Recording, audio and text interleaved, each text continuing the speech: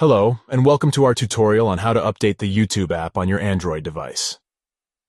Keeping your apps up to date is important to ensure they're working properly and have the latest features.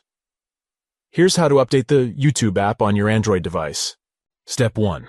Open the Google Play Store app first. Locate and open the Google Play Store app on your Android device. Step 2. Tap your profile picture.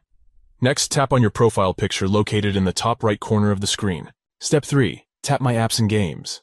In the drop-down menu that appears, tap on My Apps and Games. Step 4. Find the YouTube app.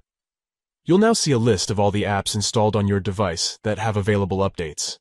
Look for the YouTube app, which will be labeled Update if an update is available. Step 5. Tap Update. Finally, tap on the Update button next to the YouTube app to download and install the latest version. And that's it. You've successfully updated the YouTube app on your Android device. Keep in mind that updating your apps regularly can help keep your device running smoothly and protect it from security vulnerabilities.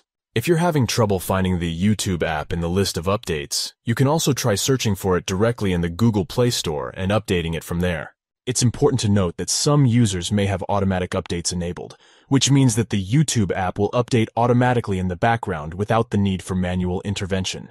We hope you found this tutorial helpful. If you have any questions or comments, please leave them down below.